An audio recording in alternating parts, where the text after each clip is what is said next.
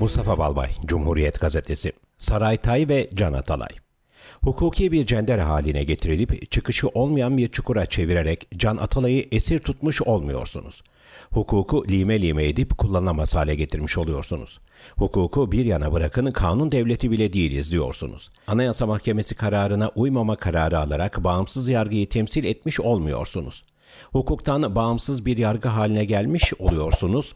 Bu artık tuzun kokması değil, oksijenin yok olmasıdır. Bir ülkede Anayasa Mahkemesi'nin kararına uymama özgürlüğü varsa o ülkede hiçbir özgürlük güvence altında değildir. Bir ülkede Anayasa Mahkemesi kararı yoruma açık hale geldiyse o ülkede hukuk her türlü saldırıya açık hale gelmiş demektir. Can Atalay ile ilgili gelişmelere ilişkin yaptığımız hiçbir tanım durumu tam olarak ifade etmeye yetmiyor. Anayasa Mahkemesi kararı o kadar açık, net ve yoruma kapalı ki yerel mahkemeye sadece kararı uygulamak kalıyor. Belli ki AYM en ufak bir boşluk olsa ona sığınacaklarını bildiği için kararı çok anlaşılır yazmış. Karar aynen şöyle. 1. Yeniden yargılama işlemine başlanması. 2. Mahkumiyet hükmünün infazının durdurulması ve ceza infaz kurumundan tahliyesinin sağlanması.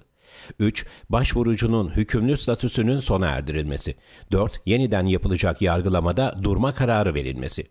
Bu cümleleri aynen 35 sayfalık mahkeme kararından aldık. Hukuk diliyle emredici bir hüküm.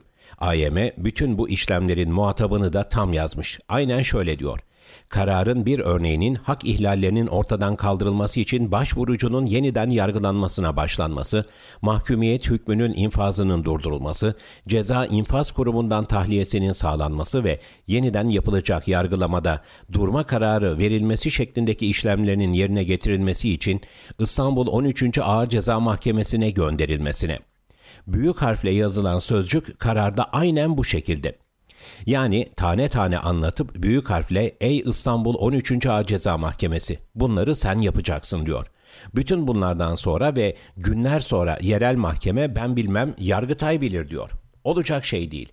Şahsım rejiminde bile olacak şey değil. Ergenekon davası da İstanbul 13. Ağır Ceza Mahkemesi'nde görülmüştü. Bu aşamaya gelinceye dek Can Atalay dosyası sürekli üçgenler çizdi. Türkiye Büyük Millet Meclisi Başkanlığı, Adalet Bakanlığı ve Yargıtay üçgeninde taraflar aylarca topu birbirine attı. AYM işi zamana yayınca Yargıtay hükmü basıp dosyayı daha tartışmalı hale getirdi. AYM üyelerinden biri dosyayı okuyamayınca kurul toplantısı zamana yayıldı. Bu zaman diliminde Atalay'ın milletvekilliği düşürme hesabı bile yapıldı. Sonuç olarak Anayasa Mahkemesi son verdiği kararla bütün bunları masanın üzerinden süpürdü. Atalay milletvekilidir, serbest bırakın. Kararı bozun, yeniden yargılamayı da durdurun. Dönem sonuna bırakın dedi. Bir yerel mahkeme Anayasa Mahkemesi'ne direnemeyeceğini herkes biliyor. Böylesi kararların yerel mahkemede değil, en yüksek mahkemede verildiğini herkes biliyor.